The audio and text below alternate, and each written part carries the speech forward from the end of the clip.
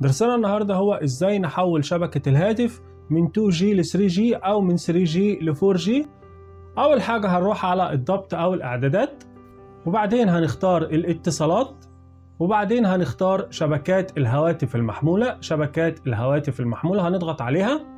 طبعا هنا بيجيب لي نمط الشبكة واحد ونمط الشبكة اتنين. معنى كده إن في شريحة واحد وفي شريحة اتنين.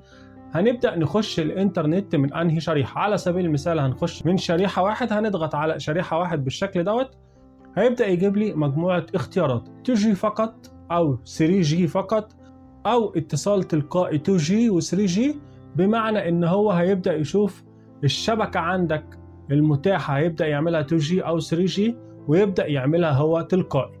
إحنا هنختار 2G 3G LTE اللي هي ال 4G هنضغط عليها بالشكل دوت وهو هيبدأ يتصل تلقائيا على حسب قوة الشبكة عندك.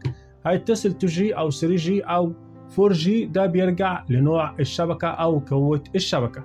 لو إحنا عايزين نعمل كده على سيم 2 نفس الفكرة هنضغط عليها وبعدين هنختار تلقائي هيبدأ يتظبط معانا بدون أي مشكلة.